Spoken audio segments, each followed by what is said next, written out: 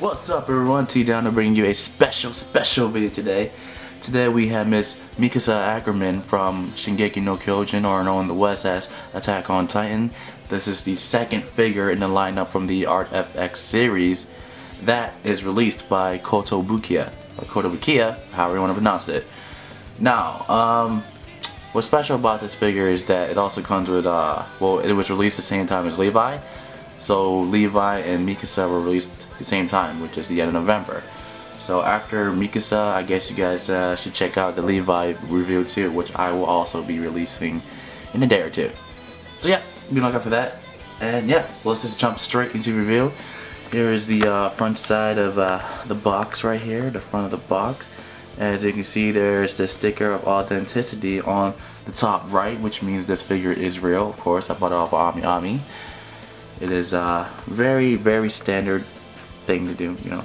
But uh, the front box is a bit different from um, Eren's box. His box was really green as opposed to Mikasa's box, which is uh, really red. Um, not as in like bright red, but there's uh, bread and bright red uh, on the bottom, the bottom half of the box.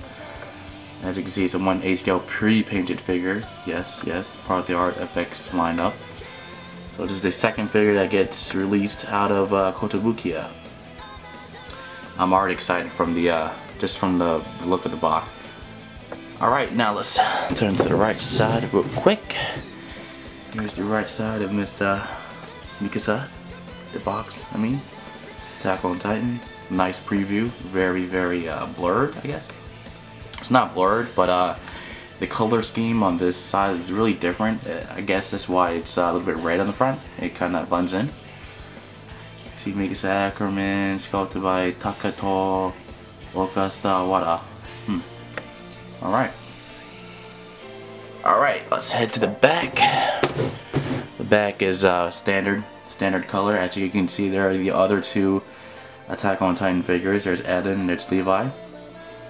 This is the second figure that's released and she also has a tree base. So the whole uh, series, uh, the whole lineup, our whole Art FX lineup of the Attack on Titan uh, characters, their bases are all pretty much uh, the trunks of trees or like uh, pretty much just trees. Like they're standing on trees or jumping off of trees, whatnot. Alright, so let's hit here. Here's the final side. More previews for everyone to look at. There's really detailed pictures of the, the maneuver gear. I'm definitely excited for it because Adam's maneuver gear was really, really good. See Art FXJ, Japan. Art FXJ, Japan, Toha? Hmm. Okay. I don't know what that means, but... Alright, and that's it for this side of the box. Now let me show you the top side of the box real quick, and then we'll open up the figure, and I'll show you guys what she looks like. Mikasa Ackerman. And then, there we go. I want I like to point out though that uh, this edge right here is the uh, it's a uh, comparison to the sword that they use, the source they use, it's the edges. I don't know what the uh, shape is called, I forgot. But it is pretty much the exact same thing, the edges of their swords. So just a point. Alright, now that's it. Let me set this thing back up. Alright, now we're gonna open her up and then I'm gonna show you guys what she looks like outside of her box. Start by showing you a close-up of Mikasa's face now. Let's talk about Mikasa's face for a bit. Um, for her face, there's nothing really spectacular or anything that stands out about um, Mikasa, Mikasa, however you want to pronounce her name. I will call Mikasa because I'm used to calling Mikasa like that. But um, yeah, there's nothing spectacular about it. Nothing stands out. It's just Mikasa Ackerman from Shingeki no Kyojin. And um, I wish they could have done a little bit more to her face. Uh, personally, yeah, I think they could have just showed a little bit more color to her face. She looks really pale. Like, uh, I mean, I know she's the only Asian left in Europe or uh, whatever the setting is for Attack on Titan Germany or something, but uh, she looks really pale. like, really, really pale. And it doesn't look. It, it kind of it's kind of off a bit. It kind of it's kind of off a bit for me. So I don't know. it's that's just, it's just me. Um, there's not much expression going on. Of course, that is Mikasa's type of character. She's really monotone, really uh, how should I say? It's mysterious, really, really like she keeps to herself a lot. She's not she's not a character who talks a lot. So that I would commend Kotobukiya for uh, you know sticking true to her expressions and uh, her character. So points on that. But I do wish to use a little bit more color. She looks really, really, really pale. really pale. Okay, so let me zoom out a bit and then I'll show you guys like uh, her attire and her whole body. So she's wearing the standard um, uniform that every character on Attack on Titan wears. It is, it is their combat uniform. As you can see, she also has her scarf, which Aaron gives her. Eren, I mean, not Eren. I'm not sure if you can see it, but there's the scarf. If you take off her, um, her uh, scouting legion or what was it called against? Oh, Scorp, the corpse, the scouting corpse, or special, uh, whatever they call, so whatever it's called. I, I, it's been a while since attack since I've seen Attack on Titan. Survey Corps, that's right, Survey Corps. So if you take off the Survey Corps cape, uh, you'll see her in her um, red scarf. So in order to do that, you take off her head, which is really easy, and then you take off the cape. Bam! There you go. You have Mikasa without her cape on. Very easy peasy, lemon squeezy. so, let's continue on. Um, very detailed, intricately detailed. detailed. It's pretty much uh, the exact same details that you see on the Eren figure that I have mentioned previously in his video. Um, yeah, not much to say about her uniform. It looks like her uniform. Not much, uh, I don't really have an eye for small detail, but it looks like her uniform, so I have no complaints.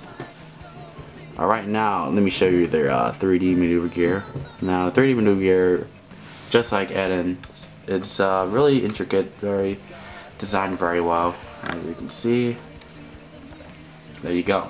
Boom. Very, very, very neatly designed. I must say. Look at this. It's a beauty. It's a it's a it's a work of beauty. Alright, that's it. Now let me just go up and down real quick for you guys so you can kind of get like a full scale what she looks like. Zoom on a bit. There's the base, her base. Now let me uh, talk to you about how we attach Miss uh, Ackerman. So as you can see her foot right there, there is a um, pole that sticks out of it and you attach her to this branch right here. After you attach it to the branch, you have to line up um, her uh, her casing where she holds her uh, swords. You attach it to oh something fell off. You attach it to the uh, end of the tree trunk right here. I can't really get a good angle of it, but yeah, this is close enough. So ignore the sword. So as you can see, it is connected to the tree trunk or the you know, the end of the tree trunk. So that is how you put uh, Mikasa on the tree base. It was pretty hard for me at first, but you just have to push hard and it'll click in eventually. Don't worry about breaking it. It'll click in. Some of these figures are hard when it comes like that. Alright, now let's continue on with this figure review.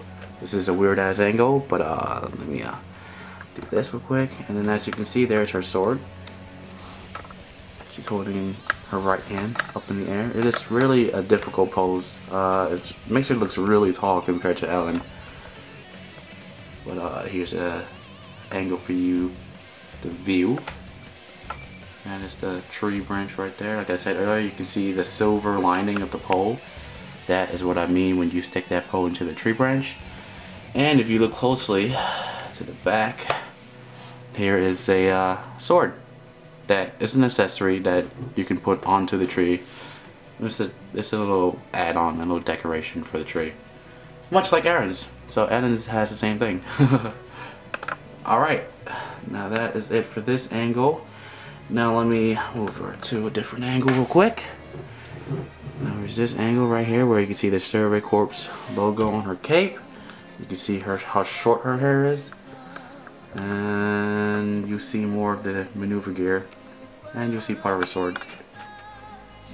Let's see. Yep. Very nice base, very nice base. Depiction of the battle. I think the um, whole um, Art FX series by Kotobukiya. They are pretty much depicting the uh, scene where they're in the woods or the forest. No, I'm not gonna spoil or anything, but yeah, th that, those are the scenes where they're depicting these three from. Alright, now here's the final angle I'll show you guys. And then I'll call it in. I'll call it a day. Alright. More 3D maneuver gear gloriness right there. Alright. the trunk. Very, very detailed. Alright. Uh, I'm going to talk a little bit about the wires right here. As you can see, there are wires connected to the end of her sword handles. Um, they are very easy to put in. All you do is you hook up the uh, end pieces to the end of the sword handle. And then you uh, hook them up into the holsters, which is right there. As you can see, it's really small, so you have to look for it. It's on her, um, the holsters. I think it's the same thing for Eren, so there is a set of instructions that come with it, but I'm letting you guys know now that uh, you just hook up the wire to the end of the hand of the sword, and then you put the straight line into the uh, holster. It goes the same for the other wire, which is on this side right here. That is for the right sword. There we go. It's the same same thing. Very easy, very easy, very easy to put in. It's not complicated at all. And another cool thing about the swords is that they are removable. Um, this whole gas canister thing is removable too. You can take her off the leg, it's removable also, which is really cool. And um, I'll touch on the swords for a bit. So as you can see, the sword's attached to the handle, right? You can actually remove those swords and stick them into the uh, storage for the swords, which is right here. So it can actually stick out instead of, uh, you know, have them on our handles. It's actually better for you to do it on the uh, other side, which is behind her. So she can at least have one, one hand with one sword, you know. At least you can have that. But you know, overall, it looks pretty fucking badass. Holy shit, I must admit, she's badass. Uh, color scheme's good, details are there. Just maybe the face is a little bit off, but everything else is good. I like the figure. Uh, it's, it's a great figure by uh, Kotobukiya. They have outdid themselves again, and I'm pretty excited to review Levi next. So, um, yeah. Let me try to get her on a full scale again. That's kind of hard, but uh, uh, let's see. You can see her sword right there. You can see my boss crow. I apologize for that. But I guess I'll guess I'll push her back a bit, and then maybe you can see her but it's really really far but uh, it'll give you an idea of how you know tall she is so this is how tall Mikasa is on a uh, full scale really tall figure I'm not sure if she'll fit in my case I was thinking about putting a riser but you know, she's a really tall figure so yeah that is it for Ms. Mikasa Ackerman I hope everyone has enjoyed this figure review really really simple figure review not much you know, explanation going into it. But uh, hope you guys pick her up. It's still Mikasa Ackerman. You know, the only thing I have to say is her face looks really, really pale. And that's about it. um, yeah, pick her up. Uh, there's also Levi, so watch out for my Levi review, which is coming out next.